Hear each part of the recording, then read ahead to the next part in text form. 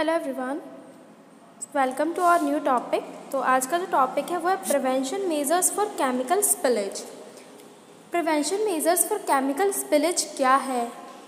तो देखिए, ये वो चीज़ है, जैसे कि जो भी हम केमिकल जैसे किसी कंटेनर में भरा है केमिकल किसी कंटेनर में भरा है, ठीक है?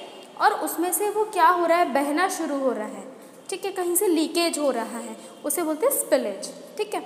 तो इसमें यही बताया गया है कि जो स्पिलेज जो है, उसके प्रिवेंशन हम कैसे करें?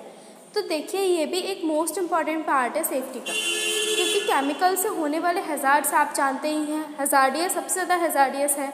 ठीक है एक्सप्लोजिव मटेरियल होगा अगर तो ब्लास्ट भी हो सकते हैं। फ्लेमेबल गैसेस है।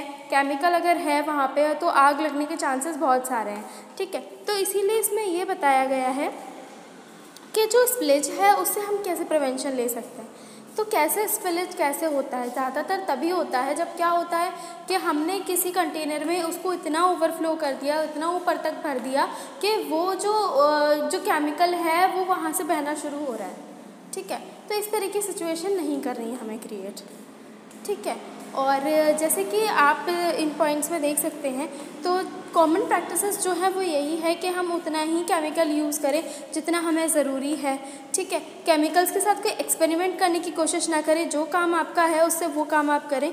जो भी मटेरियल आप यूज़ कर रहे हैं, उसकी प्रॉपर्टीज़ आपको पता हो कि कितना फ्लेमेबल है, क्या है, कहाँ स्टोर किया जाएगा, कैसे इसे हैंडल किया जाएगा। ये सारी चीज़ें आपको पता होना चाहिए। ठीक है? तो देखिए स्पिलेज की बात हो रही है तो आपको कहीं ना कहीं बहुत अलर्ट रहना होगा। क्योंकि जैसे आप ट्रांसपोर्टेशन भी अगर केमिकल का कर रहे हैं तो भी ये चीज़ें हो सकती हैं। तो आपको इसका ध्यान दे रखना होगा कि अगर आप कोई भी वर्क कर रहे हैं तो केमिकल स्पिलेज ना हो स्पिल्स ना हो, ठीक है? अगर इन केस कभी ऐसा होता है तो स्पिलेज स्पिल रिस्पॉन्स क्या है? तो देखिए, हमेशा ध्यान रखें, जब भी स्पिलेज हो रहा है तो उसका इमीडिएटली उसे इन्फॉर्म कर दें, ठीक है? पब्लिक सेफ्टी नंबर जो भी आपके यहाँ का है, उस पर ठीक है? और कोई भी इफेक्टेड एरिया है जहाँ भी स्पिलेज हुआ है वहाँ आप जाएँ ना तब तक वहाँ की साफ़ सफ़ाई ना हो जाए। किसी भी चीज़ को टच ना करें ठीक है? कि को, आ, कोई भी उस कंटामिनेटेड जोन में एंटर ना करे अवॉइड करे वहाँ जाना ठीक है? एमरजेंसी शॉर जैसे कि मान लीजिए आपके ऊपर कोई केमिकल गिर जाता है तो कोई भी एमरजेंसी शॉर आप लें ठीक है? कोशिश करें उतने एरिया में कोई ना जा पाए क्योंकि वहाँ स्पलेज जो हुआ है उसकी वजह से एक्सीडेंट्स हो सकते हैं। और अगर आप खुद को सेफ़ रखना चाहते हैं तो आप कोशिश कीजिए उस एरिया में जाना अवॉइड करें और प्लीज़ पीपीज़ वेयर किए हों आपने। क्योंकि केमिकल के साथ वर्क कर रहे हैं तो आपको पीपीज़ वेयर करना मोस्ट इंपॉर्टेंट है। ठीक है? तो इस तरीके से आप सेफ़ रह सकते हैं। तो देखिए ये क्या है? आ, कुछ इसके अप्रोचेज़ हैं। केमिकल स्पिलेज सिचुएशन के कुछ अप्रोचेज़ हैं। जैसे कि आपको पैनिक नहीं होना है। ठीक है? आपको स्पिल्ड सब्सटेंस क्या है उसके बारे में पता होना चाहिए। आ, आपको एम क्या है उस केमिकल की कैसे आपको हैंडल करना है वो सारी चीज़ें पता होना चाहिए।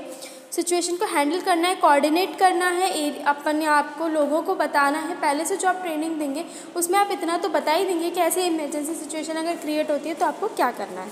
ठीक है? तो इस तरीके से मेजर और माइनर चीज़ें हैं जो कि आप हैंडल कर सकते हैं अपने लेवल पे पर तभी हो पाएगा जब आप पैनिक ना हो।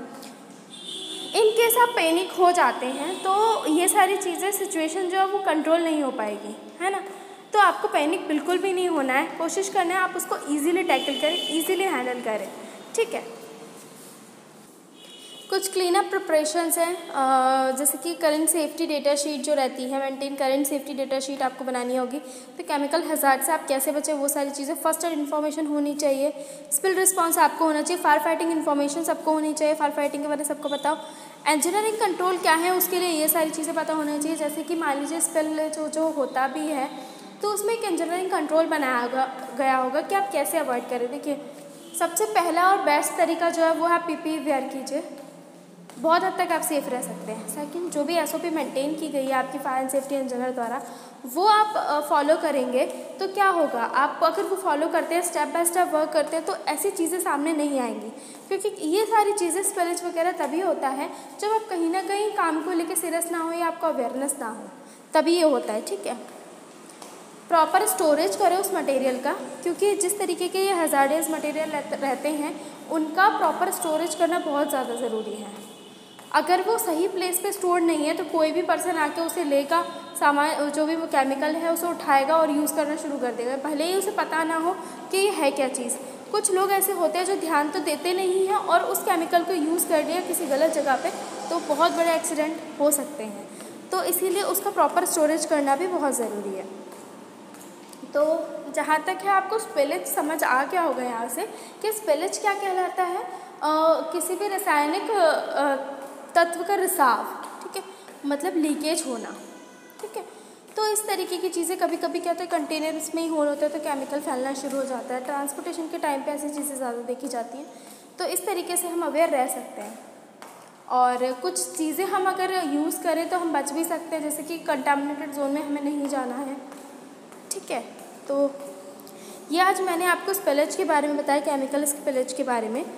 इस तरीके से हम सेफ्टी प्रिवेंशन ले सकते हैं, ऐसे अवॉइड कर सकते हैं चीज़ों को। तो ये जो टॉपिक था आज का, वो यही था prevention measures for chemical spillage industrial safety की अभी बात चल रही है तो इसमें ही ये टॉपिक है, क्योंकि इंडस्ट्रीज़ में ये ऐसी सारी चीज़ें देखने को बहुत मिलती हैं। ठीक है? तो मैंने आज ये आपको बारे में आपको इसके बारे में बताया। So thank